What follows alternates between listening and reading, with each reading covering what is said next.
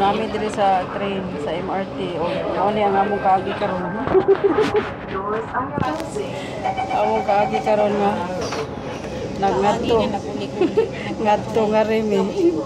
Nahulot, hulot dyan ang sulit sa isi. Nato, nato, og nahurot akong pamasahe. Kay nag-ulan, pag-abot na mo sa pag-abot diri, sarado di ang gate. Kasulod. Maura na. Kini ang among suliran.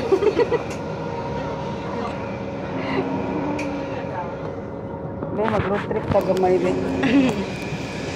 na road trip. Ay, ginagmay nga road trip. Puro dyan ginagmay. Bunlay na biya, no? Hindi na ba? Ay, naman day coral di ay bantog di makita. Tingnan kung anong gamay naman view makita. Naaman day gaali. May koral kayo. Naaman day kuraw.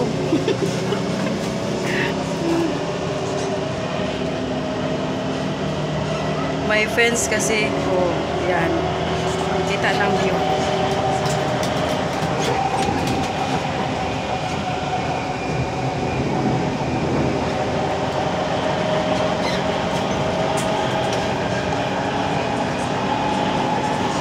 So, ayan ang view from Lakeside. Ako ang naan.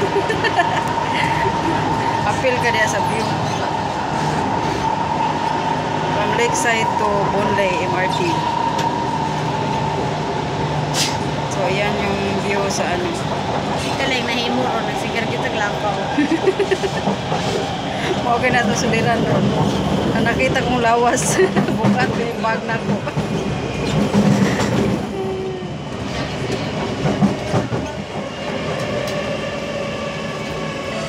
So, ayan. Andito na kami sa Bonlay. Back to normal. Si ang ending. Ang ending, Bonlay pa rin. Sa kasa naabot mo ang ending.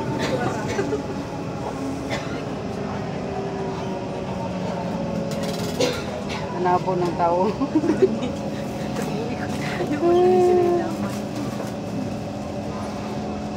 Anak yan na. So, ayan. Ang daming tao dito. So, sa loob ng train. Bye-bye. Baba na ka. Hello guys. Nandito na naman kami. Balik sa ano. Noong linggo, dito rin kami. Kain tayo pandikoko. Baka nung napicturan. Ay, oh, picturean ta ka karon. Oh, baka. Pagkingin. Eh, pa sa, ay, sa pusing nga, nag-video pa ko. Amam, sila ito. dagan. Kapo na. Ang kalami, magagandagan niya, kapoy. Ah, sige, dagan, dagan. Videohan pa ka. Sige na. Ayan ang aking kaibigan dito. Si Denden na, na, pusing. Na, pusing po ang langgam, ma'am. Wani na diri ba, oh. Mangayo na pagkaon, klaro. Kabalo na sila mga pagkaon ba?